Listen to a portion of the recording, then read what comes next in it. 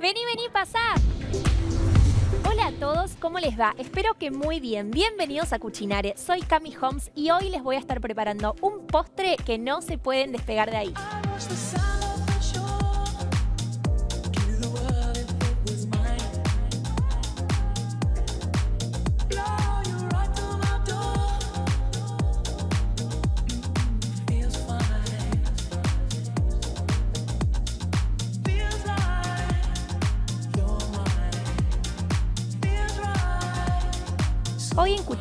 No se pueden perder este postre increíble que hicimos, nada más y nada menos que el crumble de manzana con frutos rojos.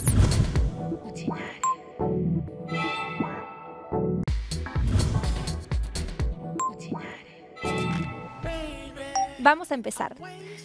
Lo primero que vamos a hacer es, con estas manzanas que tengo sumergidas en agua para que no se oscurezcan, las vamos a cortar en rodajas bien finitas.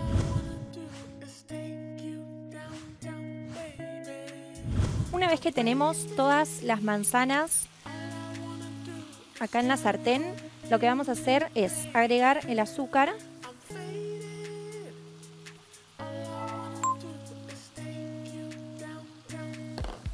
Y vamos a dejar un poquito más que se cocine todo esto.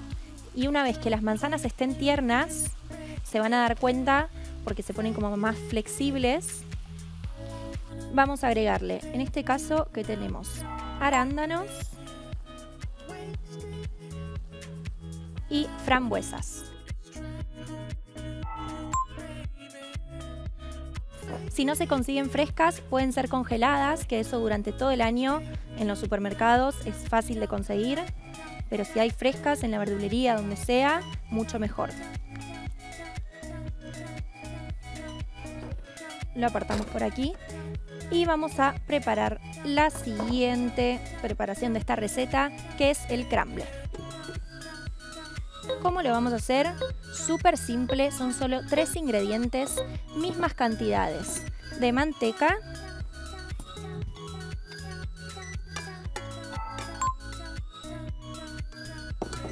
azúcar y harina. Y empezamos a batir bien despacito. Si no tienen este tipo de batidor en sus casas, lo pueden hacer manualmente, con tenedor, con batidor de mano, con lo que sea, les va a quedar de igual manera. Si quieren encontrar una versión más saludable de esta receta, no se lo pueden perder en todas las redes sociales de Cucinare. Ahora sí. Una vez integrados los tres ingredientes, va a quedar de esta manera. Que ustedes manualmente lo pueden romper un poquito más.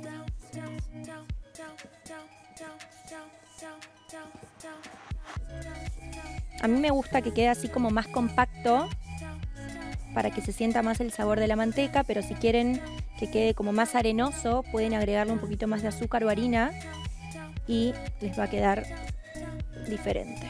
Ahí va. Ahora sí, estamos listos para empezar a preparar nuestra masa de este crumble de manzana con frutos rojos. Empecemos. Primero lo que vamos a hacer es batir la manteca junto con el azúcar.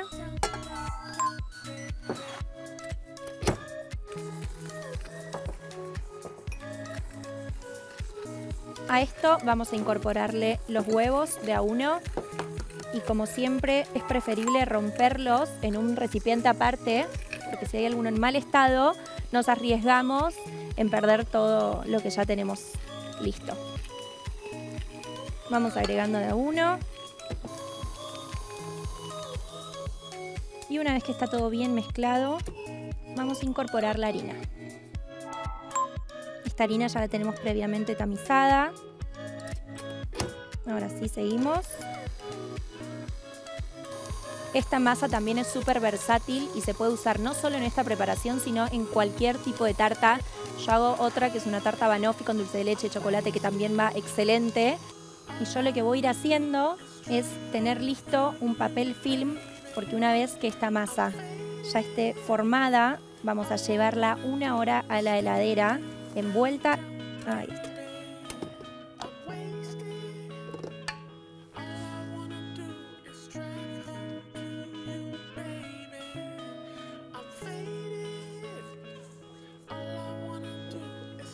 Ahí está.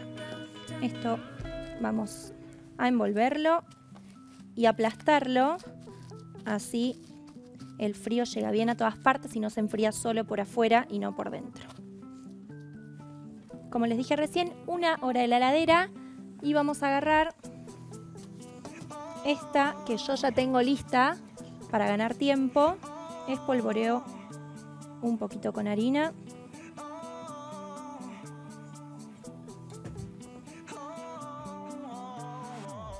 Por arriba también. Y ahora empezamos a trabajar un poquito la masa porque al haberla sacado recién de la heladera es normal que esté un poco dura porque la manteca se enfría y con el calor de las manos se va a empezar a ablandar.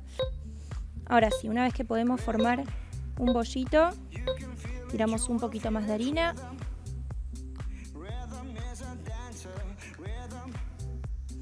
Y vamos a empezar a amasar. Les recomiendo ir moviendo la masa para asegurarse que no se les pegue sobre la mesada.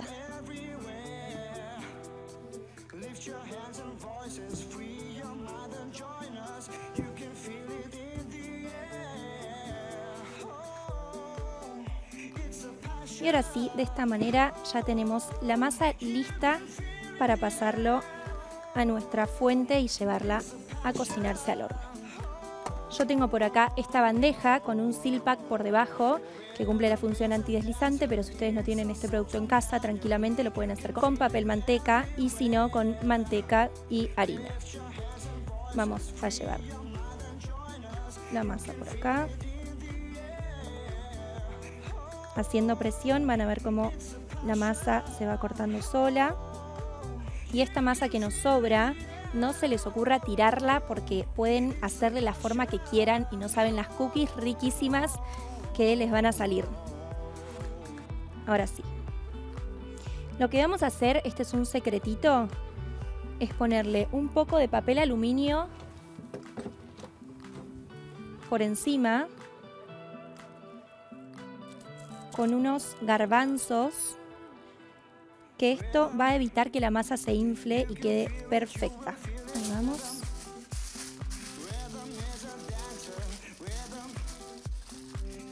Por aquí tenemos los garbanzos.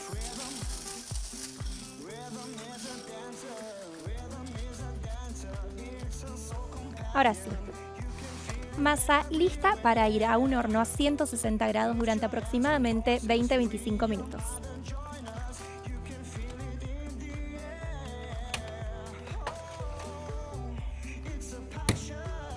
Ahora sí, ya con la masa horneada, el crumble listo y el relleno por acá también, lo que vamos a hacer es justamente armar nuestro crumble de manzana con frutos rojos. Primero lo que vamos a hacer es con una cuchara, en este caso tiene agujeritos, porque por más que ya colé, este relleno sigue perdiendo un poco de líquido. Empezamos a rellenar la tarta.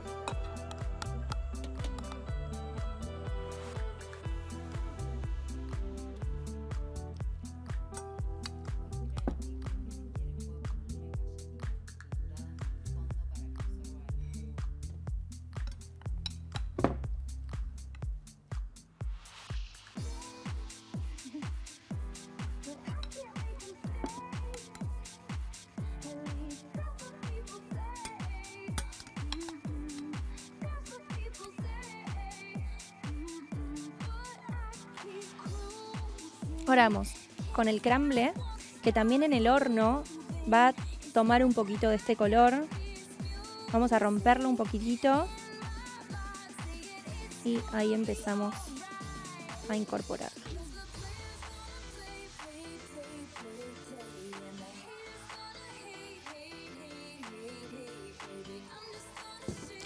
Estamos listos para llevar nuestro crumble al horno a 210 grados durante aproximadamente 10 minutos, pero estén muy atentos porque no se tiene que quemar, se tiene que apenas dorar por arriba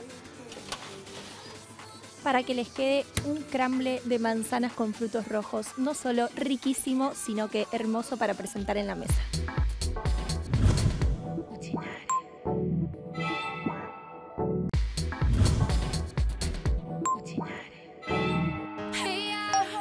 Miren qué belleza este crumble de manzanas con frutos rojos.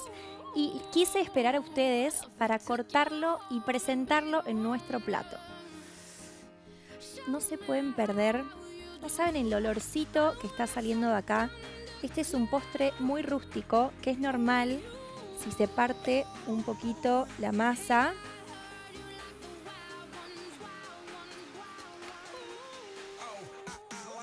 Por favor lo que es ese color imperdible. Esto está caliente, así que yo voy a aprovechar y lo voy a acompañar de una bocha de helado. Pero si ustedes quieren en casa comerlo así como viene, con mate, con té, con lo que más les guste, va perfecto también. No se lo pueden perder, por favor, pruébenlo ustedes también en casa porque les aseguro que les va a encantar. A ver,